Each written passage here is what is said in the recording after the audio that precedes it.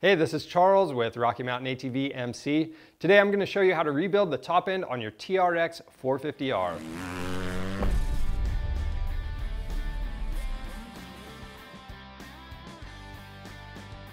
The top ends on these ATVs needs to be freshened up periodically and some ways to know that your ATV is ready for that is if you're burning oil or if your engine is hard to start due to low compression or like us, we're actually gonna install a big bore kit on this. We wanna get a little more power out of the engine.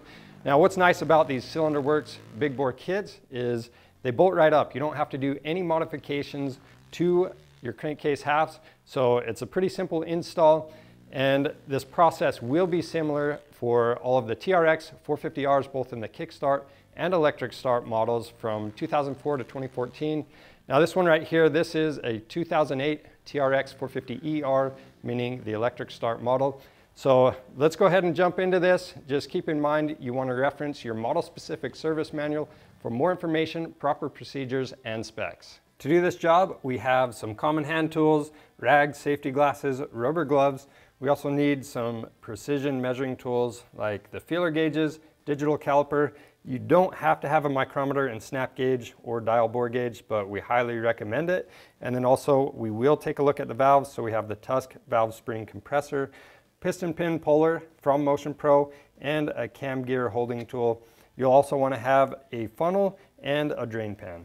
If you're reusing your cylinder, you're going to want to use a hone and a nylon brush to clean that out. We're also changing our engine and transmission oils. We're using the Tusk oil filter.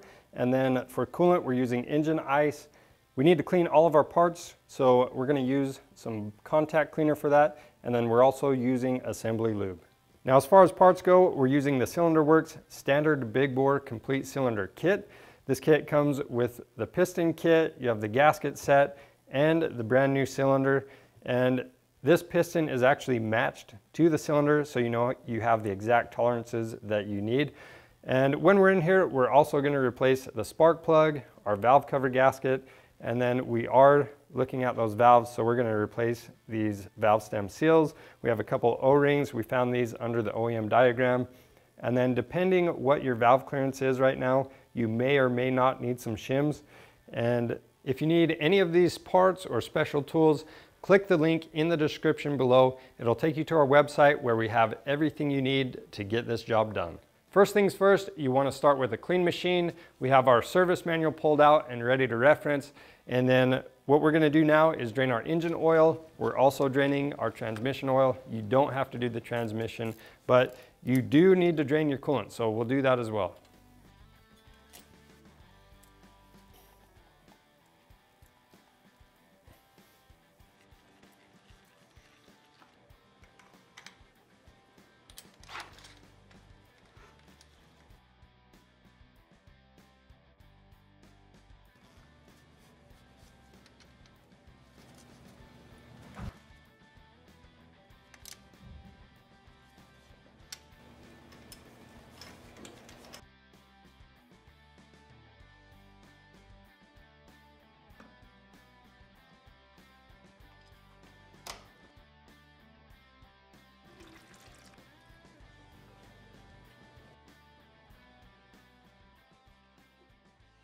Next, we'll remove our seat.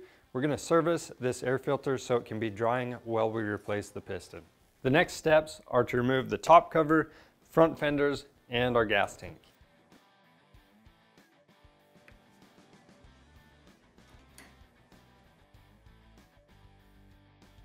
All right, the next step is to remove this heat guard plate. And in my opinion, this is probably the hardest part of the whole job just because there's so many wires and things that you need to work this thing around to get it out.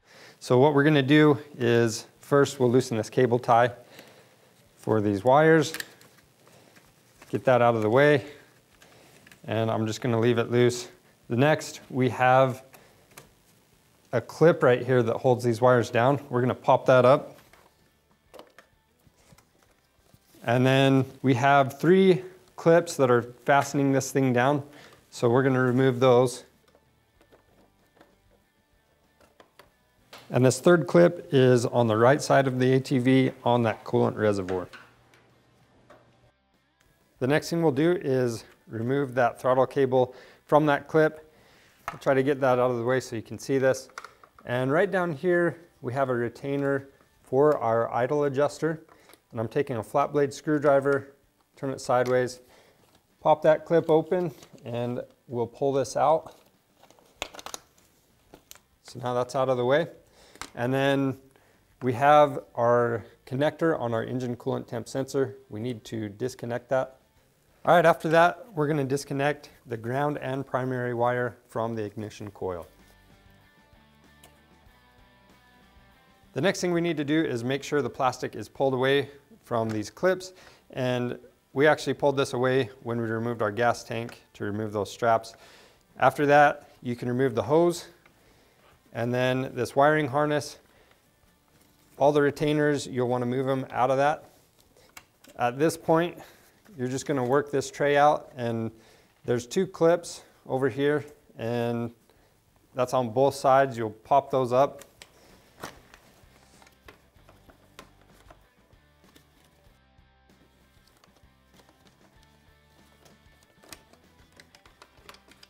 The next thing we need to do is clean this area up around the valve cover really well so we don't get any dirt in our engine.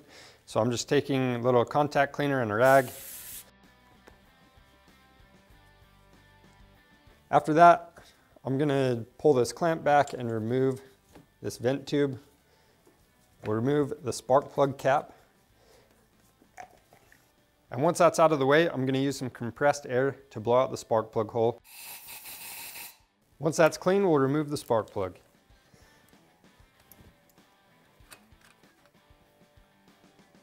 The next couple of steps that we're gonna do is remove the header and the engine hangers.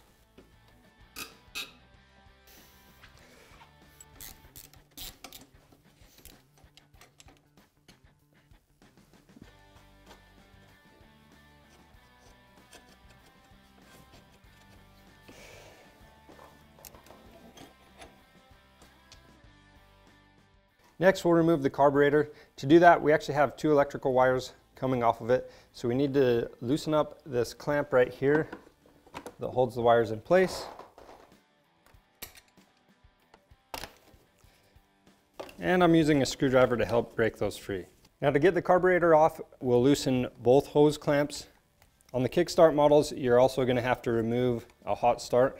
And then once you have these clamps loosened up, you, you can pull the carburetor back and remove it from the machine. And you either have the option to disconnect your throttle cable or like us, we're just gonna zip tie the carburetor to the handlebars for now.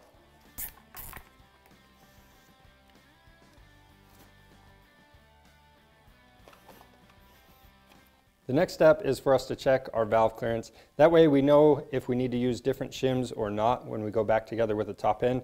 So we're gonna remove the timing covers on both sides of the engine and the valve cover and we'll put the engine on top dead center on the compression stroke.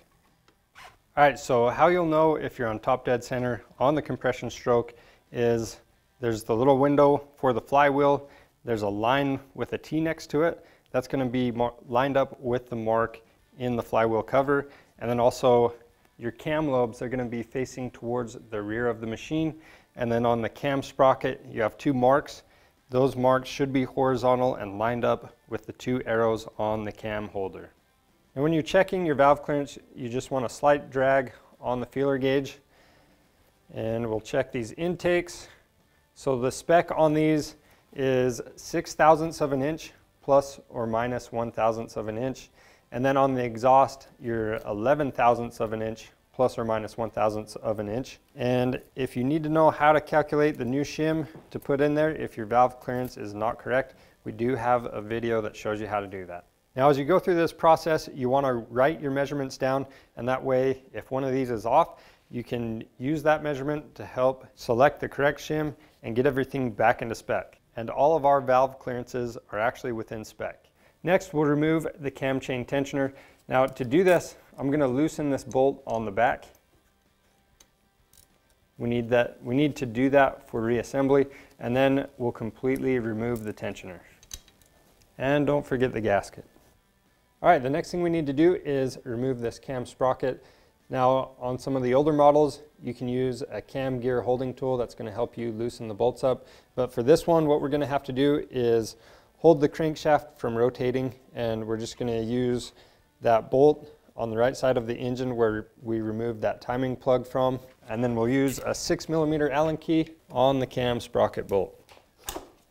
And the first one, we're just gonna break it loose. Then we're gonna rotate the engine over until we have the other bolt exposed.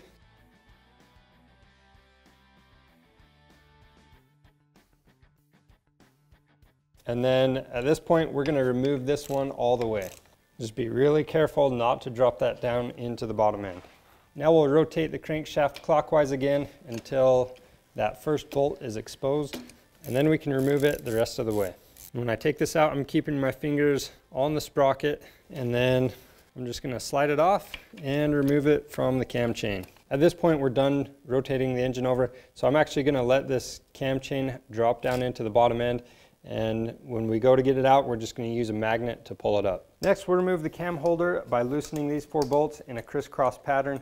And we'll pull this out, but keep in mind, you want to keep track of the shims and buckets on the bottom side. And we'll lay all of the parts out in order. Now on the bottom side of this cam holder, you also have two dowel pins. So keep track of those. And then as you can see, these shims actually stayed in the buckets. Sometimes they can fall out, so just be aware of that. And we'll also want to pull these two shims on the exhaust side out and again, lay them out in order. Now on the side of the cylinder head and cylinder, we have three bolts. I'm going to remove these two top bolts and then just loosen the cylinder one for now. After that, we can remove these cylinder head bolts in a crisscross pattern.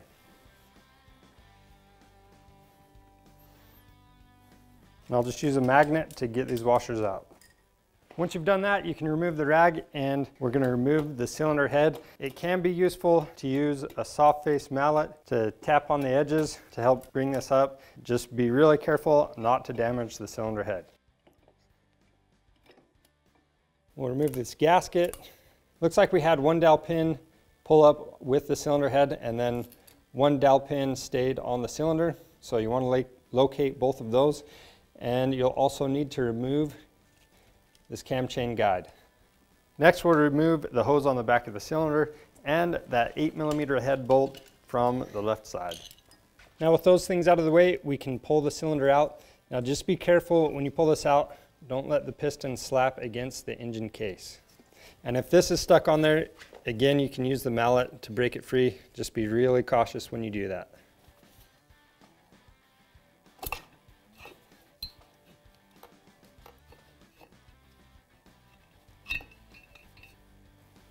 Next thing we're going to do is stuff some rags below the piston just so we don't lose the circlip down in there.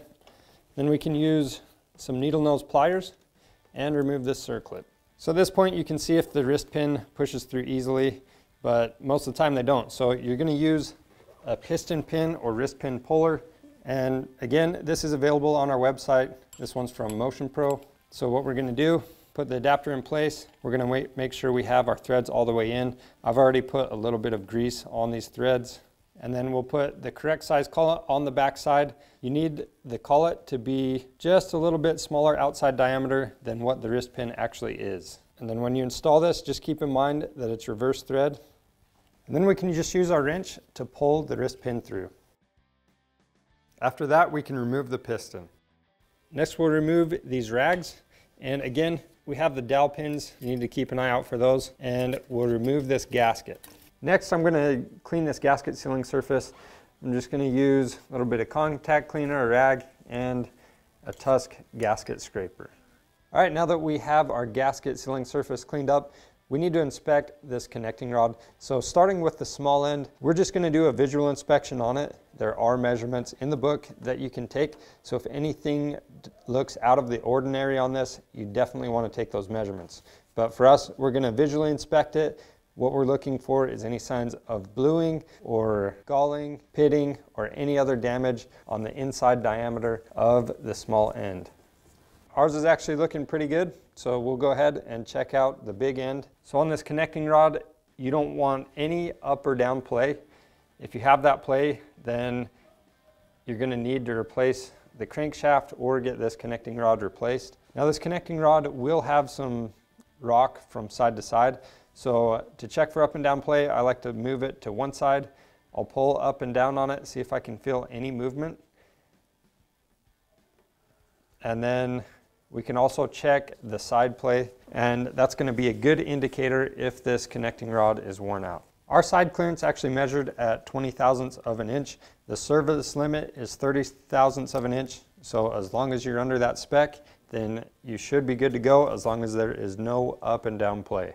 The next step is to clean and inspect our cylinder. Now as far as the piston goes, we know we're not reusing it. This is the whole reason we're in here is to replace it. So we're not even gonna measure this. You can see on this one, it has quite a bit of wear and it was definitely time for us to get in and replace this. Now we're gonna remove the dowel pins and we're gonna scrape our sealing surfaces. Once we've done that, we're gonna go ahead and clean all the dirt and oil off the cylinder. So towards the top of the cylinder, we have this carbon ring. And if you are gonna hone your cylinder out, then that's gonna help remove all that stuff. But just to get this inspected, I'm actually just gonna use some of this maroon Scotch-Brite and we're gonna clean that out of there.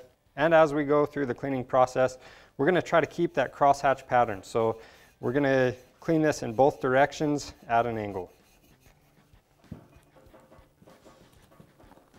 Now that we have the cylinder cleaned up, we need to inspect the Nikasil coating. Now what the Nikasil coating is, it's just a really thin, hard coating that the piston rings ride on. And if that's worn through, then you need to get the cylinder either replated or you're gonna have to replace the cylinder. So to inspect that, most of your wear is gonna be from front to back where that piston skirt rides. So that's where you're gonna see some vertical lines.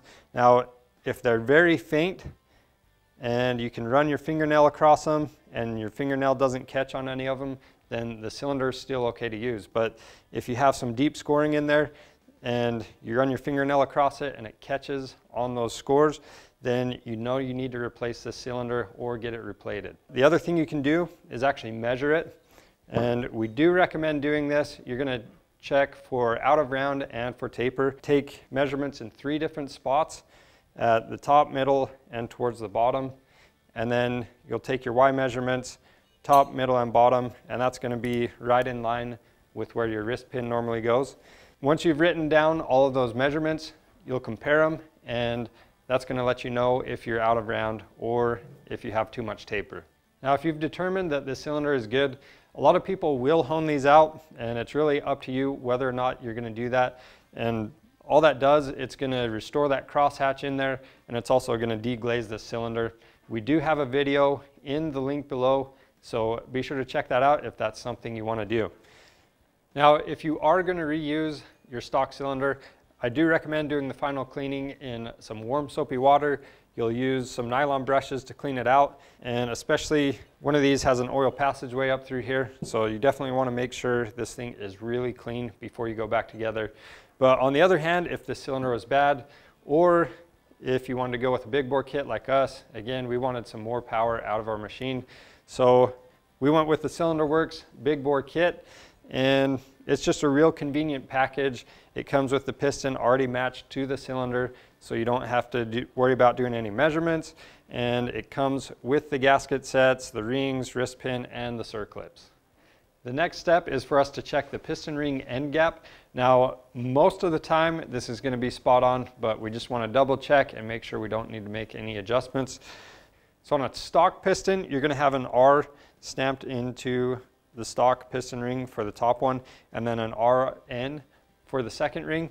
And for this piston kit, it's actually re reversed. The R, there's no way this piston ring can go in the top groove. It can only fit in the second groove. And then it also has this dull finish where that's usually the second ring and then the top ring normally has this more shiny surface or a chrome looking coating on it. So anyway, we're gonna take this top ring, we're gonna install it into our cylinder then we're going to use the piston to square it up. And once it's squared up, we're going to check that end gap. Now, you're going to have a minimum of 10 thousandths of an inch for the top ring, which we have, so we know we're good. And then for the second ring, the minimum end gap is 9 thousandths of an inch. Now that's how you do it with a stock piston. The Cylinder Works kits come with these end, end gaps already checked. so we know we're good to go. And if you did have to end up adjusting these end gaps, you can take a small file and file them down. Now I do want to point out these cylinder works kits come ready to go right out of the box, but it's still not a bad idea to double check that ring end gap. Now at this point, we're going to get all this stuff ready to install onto the bike. So what we need to do now is we're going to install one of the circlips into this piston before we install the rings. So I'm going to install the circlip on this side and I'm just going to roll it into place using these small needle nose pliers. So next we'll install the oil ring expander or spacer and we're going to make sure that the ends butt up next to each other and they don't overlap. Next, we're going to install the oil control rails and make sure that the gaps are offset. The first end gap on the rail was here, so we're going to put this one over here.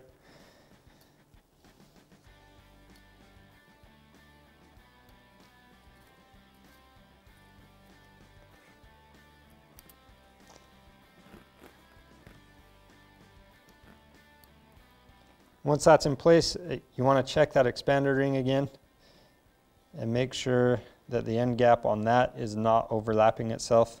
So for the other rings, we pretty much need to make a Y. This expander gap is right here. So we need one ring end gap facing there, and the other one is going to be facing about right here. So we'll go ahead and install the second ring. It's critical that the letters on these top two rings face up. And I'm just working that around the piston. You don't want to overexpand it or break it. Just be really careful when you're putting these on. Next, we can install the top ring.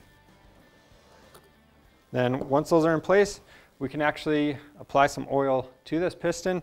And we went ahead, we did wash this cylinder off in some soapy water just to be safe, or at the very minimum, I'd spray it down with some contact cleaner just to make sure that no contaminants got in here during shipping or whatever. Make sure it's 100% clean and we'll apply some assembly lube to this as well and install the piston into it.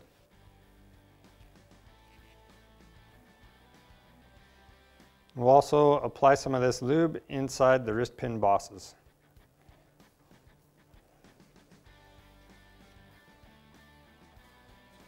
And then I do want to point out, you can install this piston onto the connecting rod right now, but what we're going to do, just to make things a little bit easier, or at least I find this way easier. I install this into the cylinder first and then slide everything down onto the connecting rod and then slide the wrist pin in place and our last circlip. So to do that, keep in mind which way the piston goes. So this arrow is facing the exhaust side. Another way you can tell is these bigger cutouts are for the intake valves. So make sure you're installing this piston the right way. All right, now to get this piston installed, what we're gonna do is squeeze the piston rings with our hands and there's a little taper at the bottom of the cylinder. That's gonna help us get this installed and compress the rings. And for me, why I like to do this with the cylinder or with the piston off the bike, it's just a little bit easier and you have a little more room to work with it on the bench.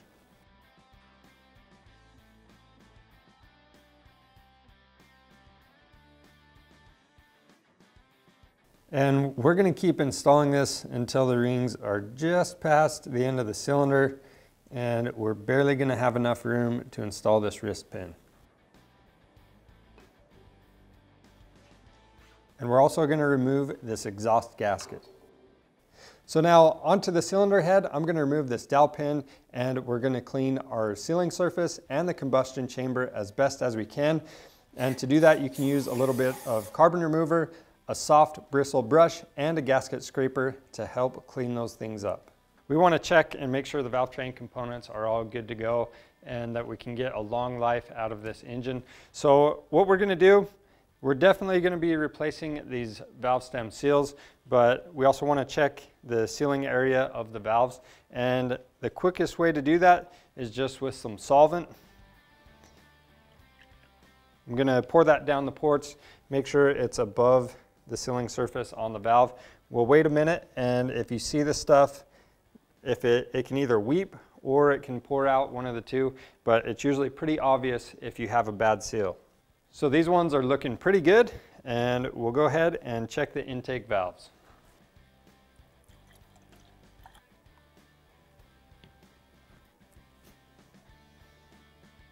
So this cylinder head isn't showing any leaks, so we know that these valves are most likely in good condition. They may be cupped out. We still need to look at them and do a visual inspection, but that most likely all this stuff is probably going to be good. We'll just take everything out, make sure everything's clean, and then install some new valve guide seals. Now to take the valves out, I'm gonna use the Tusk valve spring compressor. This compressor, it comes with several different sizes of adapters for these valve spring retainers on the top. So you wanna make sure you're choosing the right one. This is gonna have a little bit wider one for the intake and a little bit more narrow one for the exhaust. So I'll go ahead and clip it onto our tool and then the round end, we're gonna stick this into that little pocket on the valve and we'll just compress the spring down a little bit until you have two keepers right here that are next to that retainer, the valve spring retainer. And I have a magnetized screwdriver right here. Once those are exposed, you can use your screwdriver or any other magnet to pull those out. Then we'll just back off the valve spring compressor. And you wanna keep everything in order as you take it apart. So we have the retainer, the spring. If you accidentally drop the spring, just keep in mind the tighter coils go towards the valve seat. Even though we did the solvent test and we have a pretty good idea that everything's in good condition, we just want to double check. So this valve, if I try to rock it back and forth, it should just barely, barely have a little bit of play in it. If there's a lot of play in it, you want to go and check out our cylinder head rebuilding video and get everything measured out. So I've pushed it off the valve seat. I try to rock it back and forth and it's barely moving back and forth. So this thing should be good to go. So I'll go ahead and take this valve out. And then for the valve seat, what we're looking for, we want to make sure there's no pitting in here, or if there's any signs of visible damage, then you know you need to get this repaired. Now on the other side, what I'm going to do is remove our valve guide seal. Just use some pliers for that. And these valve guides, since we didn't have a ton of play in there, it's probably pretty good. So we just want to make sure that on this end there's no cracks. Ours is looking good, so I'm gonna take a magnet and pull the spring seat off. So once you're to this point, now you can do the same steps on the remaining three valves. And if you're gonna reuse these valve keepers, you wanna make sure they stay with the corresponding valve.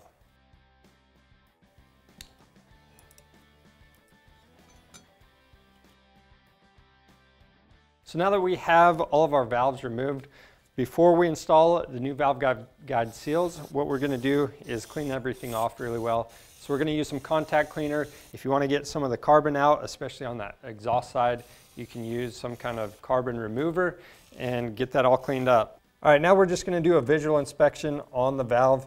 Again, there's several different measurements you can take with these valves, but we expect these to be good.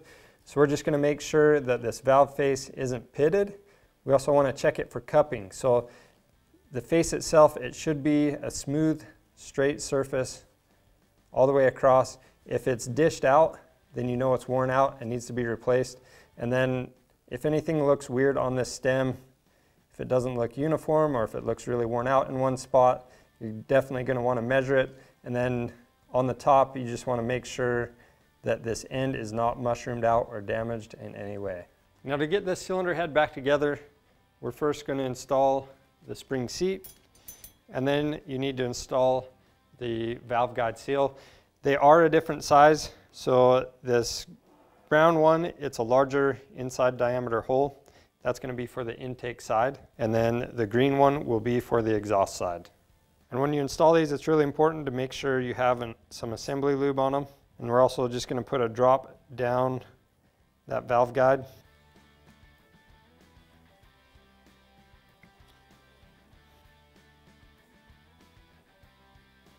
Then we'll take the spring, again the tight coils are facing down, spring retainer on top. You only need to compress this enough to expose that keeper groove. We'll just use our magnet to put these keepers in place. Once both keepers are in place, we can then remove the valve spring compressor and we'll repeat these same steps on the remaining three valves.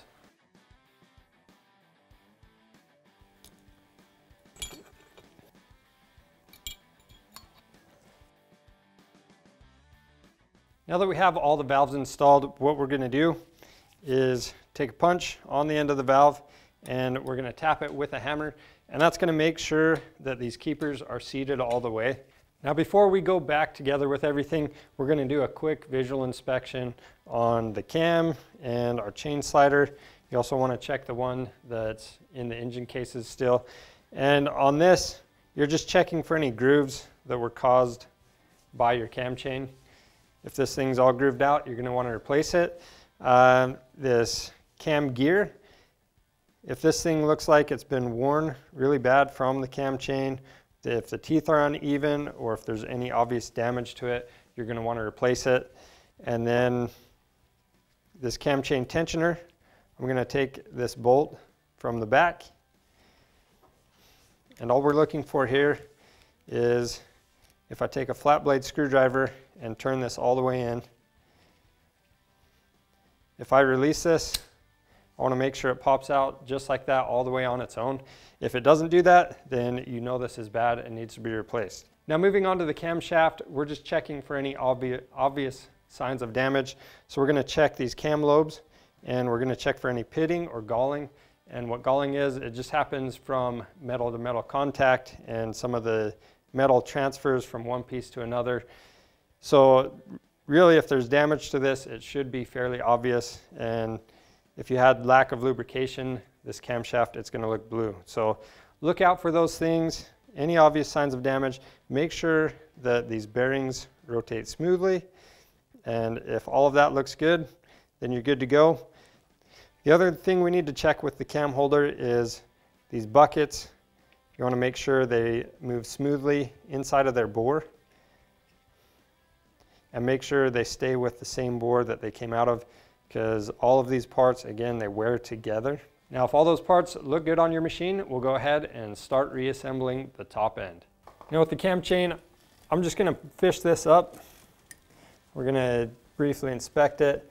We just wanna make sure that all of the links move freely and none of them bind up. So this chain is looking pretty good. The other thing you can check where the chain rides on the cam sprocket. Make sure that you don't have really sharp edges or any obvious signs of wear or damage and make sure these link pins are in good condition. Next we're going to install our dowel pins and our cylinder base gasket. Alright, next step we're going to apply some assembly lube to the small end of the connecting rod. Now we're ready to install our cylinder with the piston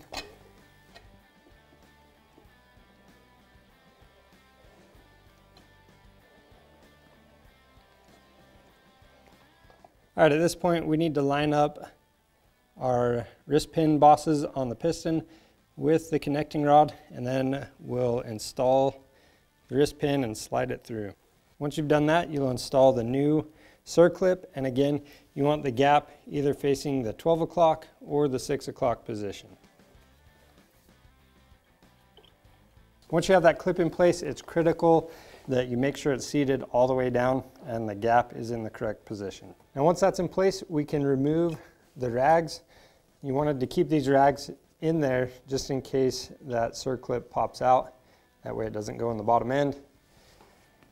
So once those are removed, we'll lower the cylinder down onto the crankcase halves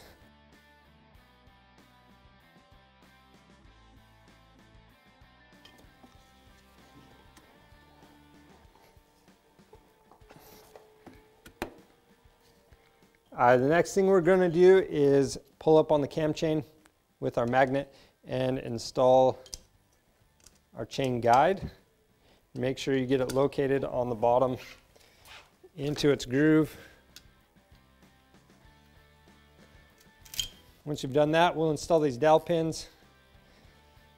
And I've got to say this kit is looking really good. I can't wait to see how it runs.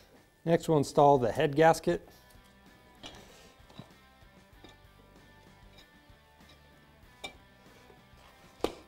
And before you torque down your cylinder head nuts, you want to install these three bolts on the side, and that way everything's all lined up. Now we can install the cylinder head nuts and washers. We're gonna apply some assembly lube to those and then we'll torque those nuts down to 40 foot-pounds in a couple of different steps and we're gonna do that in a crisscross pattern. And we'll just tighten these bolts down on the side now. All right, next step, we're going to install our shims and just keep in mind if you needed any different sizes, make sure you put those in now. Now before we put the camshaft in, I'm just going to get our new valve cover gasket glued into place. So we'll remove this old one. We'll clean out all this old glue. Now that we have that old glue removed, we're going to apply some of this Honda rubber adhesive and we're just going to put it in a few different places and that's going to keep our gasket from coming off. And you definitely want to wipe off any that got on the inside of the valve cover. And we'll go ahead and put our new valve cover gasket in place. I'm just going to wipe off any glue that came off inside here. And once you've done that, I'm going to lay this gasket so it faces down and has the weight of the valve cover on it. That's going to help everything set up. So at this point we're ready to install our cam holder onto the top of the engine. So to do that, I'm going to put assembly lube right where the buckets ride. Make sure that our dowel pins are in place. And again, make sure the buckets go into their original bores. Now once you've done that, I'm just gonna hold my fingers over where those buckets normally go and we'll set the cam holder down into place and make sure that your dowel pins are lined up and the, the cam holder seats all the way down. All right, so now we can apply some oil to these bolts and we're gonna torque them in a crisscross pattern to 10 foot-pounds. Next step, we're gonna install this breather hose onto the back of the cylinder. So our next step, what we're gonna do is clean out the threads on the end of the camshaft where that sprocket bolts on. And the reason we're doing this is we're using Loctites on the bolts. And for the Loctite to set up right, the threads need to be clean and free of any oil. Next, I'm gonna clean the sprocket off and the sprocket bolts. Now that we're cleaned up, we're ready to reinstall the cam sprocket but I do want to point out that, again, we need to make sure the timing marks still lined up on the flywheel. Once you've verified that, the timing marks you'll use for this cam sprocket are this triangle right here on the cam holder and 180 degrees across from that there's another arrow and it's kind of hard to see it's right behind this frame. What we'll do is take our cam sprocket and there's actually two little lines right here. Those two lines will center up with the tip of the arrows that are on the cam holder. And while you're installing this, don't forget, this is your part of your auto decompressor and that tab coming out of the camshaft needs to be lined up in the center of this. And I'm gonna put the sprocket pretty close to where it actually needs to be.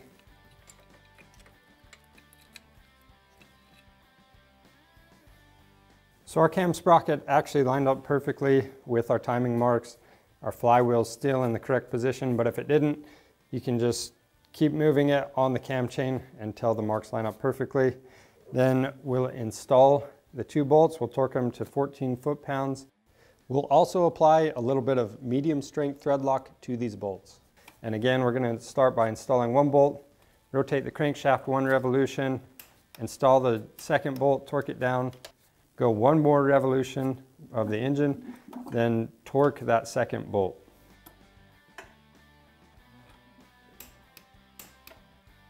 Next, we'll clean up our sealing surface for our gasket on the cam chain tensioner using contact cleaner and a rag.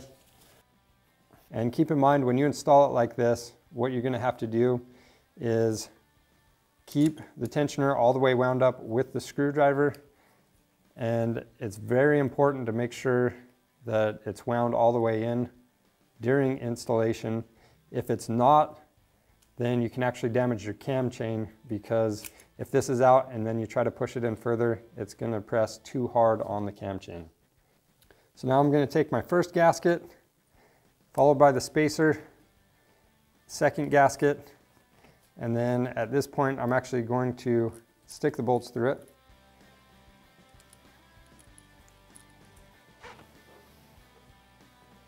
We'll set all of this in place and I'm actually going to start these bolts a couple of threads without forcing them into place. As long as you're doing this by hand, you should be okay. Get these bolts started and that way everything's lined up and there's less pieces to hold. So now that we're lined up, before we put those bolts in any further, what we need to do is again stick the screwdriver in, wind up the tensioner, take all the tension away, and then we can tighten down our bolts. You can see when we have that wound up, I can actually press the tensioner into place by hand. That's going to make it easier to get these bolts tightened up.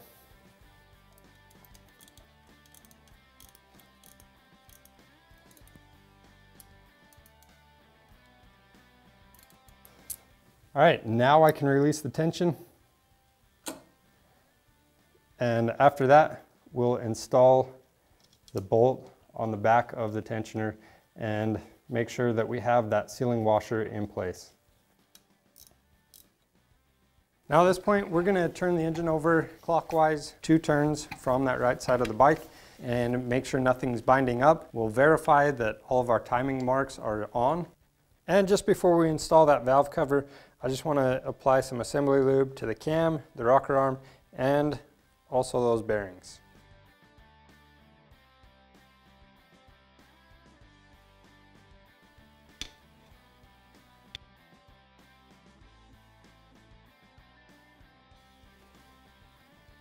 Next, we'll install our timing plug covers and our spark plug.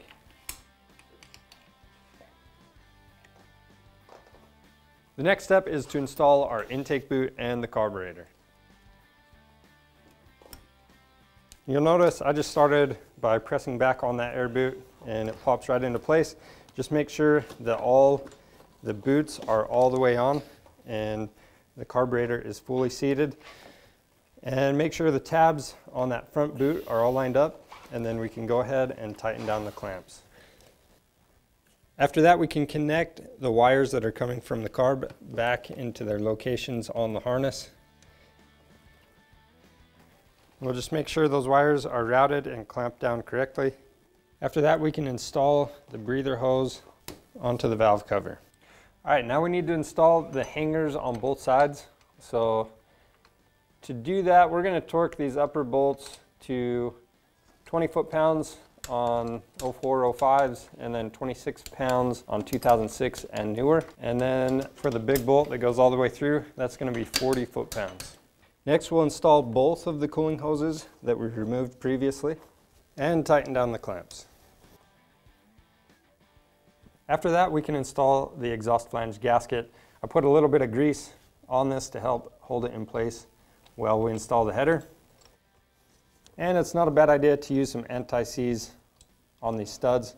We'll go ahead and install these bolts, we'll tighten them down, and then we'll tighten our exhaust clamp.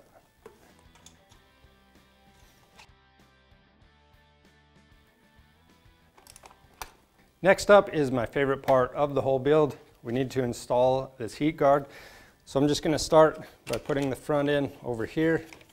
We'll get our throttle cable routed and then we can rock the front end around and press it down into place. When you do this, really you just have to work one wire at a time and don't force it. Now we can install our three trim clips and route all the cables and wires exactly how they were before.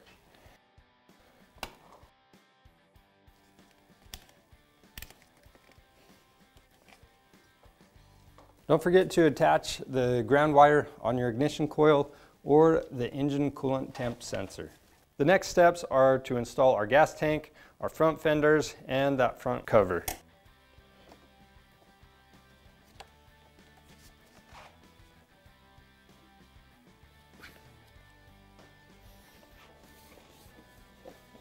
All right, next thing we'll install our air filter.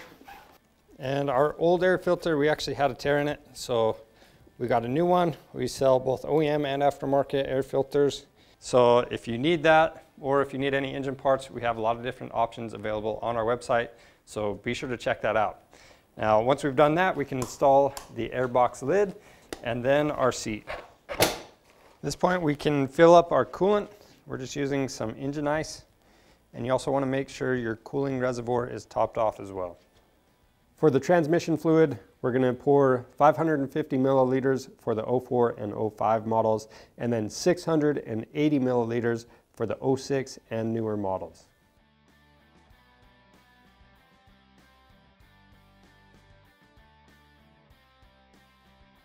Now for the oil on the engine side, if you change your oil filter, we'll pour 820 milliliters for the 04 and 05 models, and then for the 06 and newer models, we'll pour 690 milliliters.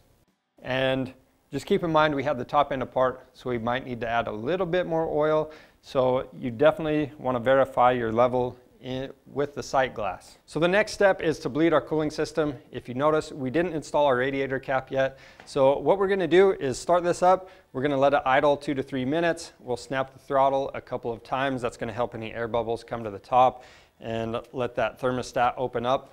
And once you've done that, we'll install the radiator cap. We'll leave it running for another minute, and then we're gonna let the engine cool completely. And once the engine is completely cool, then you can double check all your fluids and make sure they're all topped up.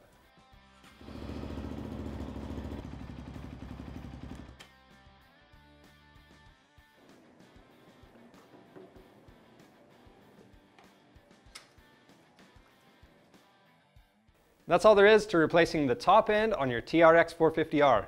If you need any parts like the Cylinder Works big bore kit or anything else for your ATV, be sure to check out our website. We have a lot of different options on there and we offer free shipping on orders over $75. Now, if you haven't already, make sure you subscribe to our YouTube channel for more videos like this. Thanks for watching.